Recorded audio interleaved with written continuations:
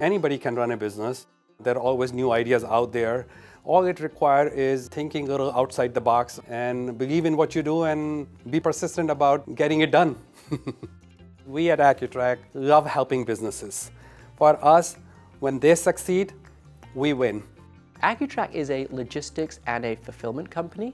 Uh, we've been around for 25 years and the goal of the company is really to be the invisible partner for entrepreneurs who are looking to build and grow their businesses and we try to take the pain and pressure of worrying about the back end of their business. We've been using Authorize.net since inception of the business. They have been our partner since we signed up for our first merchant services. We use their API to integrate our billing process. That has been really important and made our business processes really efficient.